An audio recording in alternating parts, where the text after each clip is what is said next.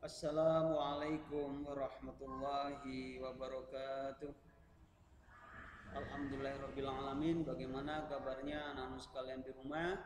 Mudah-mudahan anak-anak sekalian di rumah selalu mendapat ridhoan Allah Subhanahu wa taala dan selalu diberi kesehatan. Amin ya rabbal alamin.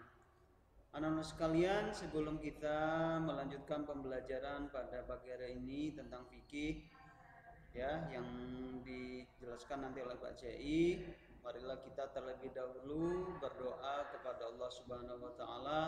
Mudah-mudahan dalam pembelajaran dari awal hingga akhir selalu mendapat ridho Allah mendapat syafaat Rasulullah. Dengan harapan mudah-mudahan dijadikan kita ilmu yang bermanfaat dan diberi pemahaman kepada kita kepada anak-anak sekalian di rumah ila tidak Mustafa Sayyidina Muhammadin sallallahu alaihi wasallam sallallahu alaihi sallallahu alaihi wasallam wa dzurriyyati wa alil baitihi wa susan sultan auliya Syekh Abdul Qadir Jalani wa susan Ki Hashim Asy'ari wa ila hadrati ta'limuhu muassis Kebun Sari Malang wa asadatina wa talawamidina wa walidina Syaikhullahul Fatihah أعوذ بالله من الشيطان الرجيم. بسم الله الرحمن الرحيم. الحمد لله رب العالمين. الرحمن الرحيم. مالك يوم الدين.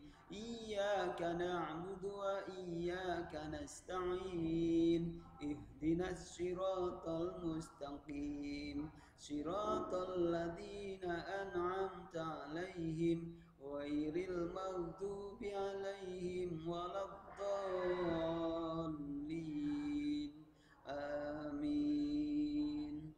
رضيت بالله ربا وبالإسلام دينا وبمحمد نبيا ورسولا Rabbi zidni ilma warzuqni fahma waj'alni min ibadikas solihin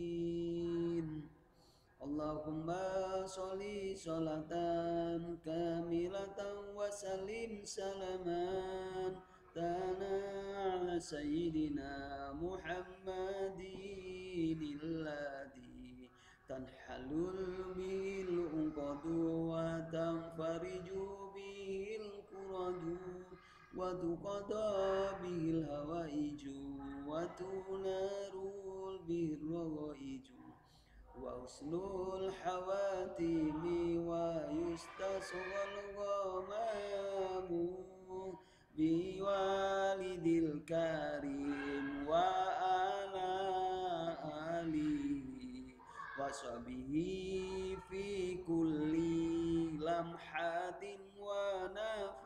nafsin wa bi adadi kulli. Nah, non sekalian, alhamdulillah kita sudah berdoa. Mari kita bersama-sama belajar dengan Pak CI kembali pada pelajaran fikih bab 5 tentang pinjam meminjam. Dalam pembelajaran fikih ini, anak-anak sekalian, kita mengikuti pembelajaran agar anak-anak tahu dasar daripada pinjam meminjam, kemudian rukun pinjam, syarat pinjam dan macam pinjam. Kemudian kita belajar tentang hikmah daripada pinjam meminjam ini anak sekalian. Nah, kita berikutnya kita akan membahas tentang dasar hukum pinjam meminjam. Lah, dasar hukum pinjam meminjam ini anak-anak sekalian terdapat pada surah Al-Maidah ayat 2. Ya.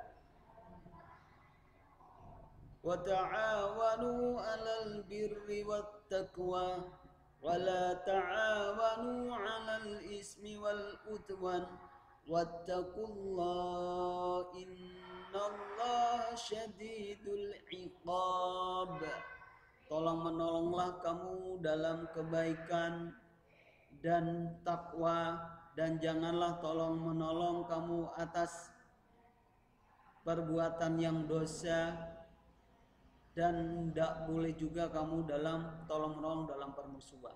Ini sudah jelas Allah menjelaskan berfirman dalam surat Al-Maidah ini tujuannya tidak lain dan tidak bukan anak-anak sekalian di rumah adalah untuk saling tolong menolong dalam kebaikan. Karena apa? Manusia tidak bisa hidup sendiri. Manusia butuh orang lain. Manusia butuh pertolongan orang lain. Oleh karena itu, manusia disebut dengan makhluk sosial, anak-anak sekalian. Nah, dengan dengan kita menjadi makhluk sosial, maka kita di situ harus peduli kepada orang lain, peduli kepada sesama, terutama peduli kepada sesama agama, yaitu agama is Islam, anak-anak sekalian. Nah, kita lanjut arti dalam pinjam meminjam anak-anak sekalian. Arti pinjam menurut Islam meminjamkan sesuatu barang kepada orang lain untuk digunakan dan diambil manfaatnya. Jadi kita meminjamkan barang kepada orang lain untuk memberikan manfaat, untuk memberikan kemudahan kepada orang lain sehingga orang lain bisa terpenuhi ya apa yang menjadi tujuan daripada orang tersebut. Inilah arti daripada pinjam meminjam. Kemudian dalam pinjam meminjam ini anak-anak sekalian, kita dipelajari dalam rukun pinjam meminjam anak-anak sekalian. Apa saja rukun pinjam meminjam itu? Satu orang yang meminjamkan atau orang yang meminjamkan barang. Yang kedua, orang yang meminjam. Jadi orang yang meminjam barang itu yang ketiga, barang yang dipinjamkan. Dan yang keempat adalah ijab kabul kesepakatan. Jadi anak-anakku di rumah kelas 6 ABC bahwa rukun pinjam meminjam itu ada empat. Nah selain kita menjelaskan, selain Pak Cahai menjelaskan tentang rukun pinjam meminjam ini anak-anak sekalian, bahwa di dalam pinjam meminjam ini ada kewajiban bagi peminjam jadi apa kewajiban bagi orang yang dipinjami barang itu? Memanfaatkan barang yang dipinjamkan.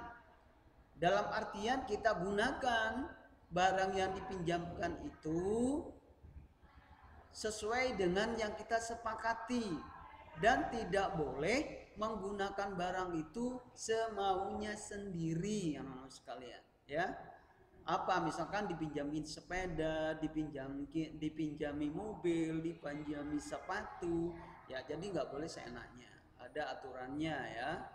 Yang kedua, mengembalikan barang jika selesai dipinjam.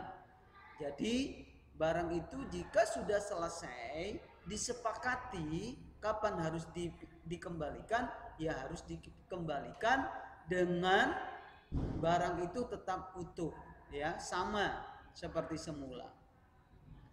Menjaga barang pinjaman agar tidak rusak itu kewajibannya bagi orang yang minjam. Jadi barang itu tetap dijaga sebagaimana barangnya sendiri. Yang keempat sikap ikhlas meminjamkan barang. Ya, namun sekalian.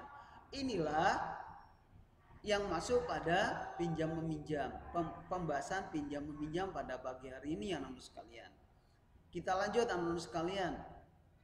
Nah, di dalam pinjam meminjam ini ada macam hukum pinjam anak-anak sekalian. Hukum pinjam itu yang pertama adalah mubah, yaitu artinya boleh. Ini merupakan hukum asal dari pinjam meminjam. Dan yang kedua anak-anak sekalian adalah sunnah. Kenapa di, dikatakan sunnah? Pinjam meminjam yang dilakukan merupakan suatu kebutuhan akan hajatnya lantaran dirinya tidak punya, misalnya meminjamkan sepeda untuk mengantar tamu, meminjam uang untuk bayar sekolah, ini termasuk dalam kategori sunnah anak-anak sekalian. Yang ketiga adalah wajib. Nah, kita meminjami dihukum wajib apabila meminjam bar, meminjamkan barang merupakan kebutuhan yang sangat mendesak dan kalau tidak meminjam, meminjamkan akan menemukan suatu kerugian. Misalnya ada orang yang melahirkan, tidak ada kendaraan untuk mengantar ke rumah sakit. Maka apabila tidak dipinjamkan kendaraan itu akan terjadi yang tidak diinginkan. Mana ini hukumnya wajib. Ya, anak sekalian. Terus yang keempat anak sekalian adalah haram. Haram artinya kita meminjamkan barang untuk hal-hal yang tidak baik. Untuk hal-hal yang maksiat untuk hal-hal yang dilarang oleh Allah ini nggak boleh hukumnya meminjamkan. Baik itu sepeda motor mobil rumah jika digunakan untuk hal-hal yang tidak baik melanggar hukum hukum negara hukum Islam ini nggak boleh. Ini harus sekalian. Kita naik selanjutnya. Nah di kemudian kita di sini anak sekalian, kita akan bicara masalah syarat. Syarat pinjam meminjam sebagai berikut. Yang pertama adalah syarat orang yang meminjam. Satu, harus balik. Berakal sehat. Tidak membadir dan tidak dipaksa. Barangnya tidak membadir, orangnya tidak dipaksa. Ini syarat orang yang meminjamkan barang. Syarat orang yang meminjam syarat orang yang meminjam balai berakal tidak membatir. Kemudian syarat barang yang dipinjamkan ada manfaatnya, ada akad, barang tidak rusak, harus utuh. Kemudian syarat ijab kabul dimengerti oleh kedua pihak. Nah, karena di sini syarat orang pinjam meminjam di sini harus balik, berakal sehat, berarti mereka harus mengerti, harus paham, ya nanu sekalian. Dalam hal pinjam meminjam. Selanjutnya nanu sekalian, arti pinjam arti istilah pinjam di situ, anak sekalian, bahwa dalam istilah pinjam di situ ada istilah muir. Muir ini adalah orang yang meminjamkan barang Kemudian musta'ir ini orang yang meminjamkan barang. Orang yang meminjami barang, mu'ir. Musta'ir orang yang meminjamkan barang. Kemudian musta'ar barang yang dipinjamkan. Nah itu istilah ya. Namun sekalian ada mu'ir, ada musta'ir, ada musta'ar sekalian. Nah selanjutnya, nah contoh dalam pinjam pinjam meminjam di sini boleh kamu pinjam mobil, boleh pinjam pensil, boleh pinjam sepeda, boleh pinjam penghapus ketika di sekolah, boleh kamu pinjam buku, boleh kamu pinjam uang, asalkan harus sesuai dengan rukun dan syaratnya. Dan jangan lupa anak-anak sekalian di rumah, jangan lupa kalau meminjam kewajiban seorang peminjam. Apa tadi? Barangnya tidak boleh rusak barangnya harus dijaga ya. Kenapa? Karena itu adalah minjam anak sekalian nah itu ya anak sekalian nah ini adalah hal-hal yang perlu kita perhatikan dalam meminjam. Nah anak sekalian demikianlah pembelajaran tentang pinjam meminjam ini. Kalau tadi kita simpulkan dari awal bahwa pinjam meminjam itu dasarnya adalah surat Al-Maidah ayat 2. Kemudian dalam peminjam meminjam itu ada rukun pinjam. Kemudian ada kewajiban orang yang meminjam. Dan selanjutnya dalam meminjam pinjam meminjam ini ada macam hukum pinjam. Ya, di situ ada empat. Kemudian dalam pinjam peminjam ini ada istilah pinjam. Ya, ada muir, musta'ir, musta'ar dan ijab kabul. Nah, namun sekalian, demikianlah pembelajaran yang kita pelajari pada pagi hari ini. Tetap semangat di rumah, belajar yang rajin, jagalah kesehatan, cuci tangan, tetap jaga iman dan imun tubuh kita. Semoga kita tetap sehat walafiat. Nah, sebelum anak-anak di rumah tetap semangat ya. Sebelum kita tutup dengan surat Al-Asr, Jangan lupa tetap istiqomah belajar di rumah, berdoa dan jangan lupa ibadahnya kepada Allah Subhanahu wa taala. Bismillahirrahmanirrahim. Wal asr. Innal insana lafi.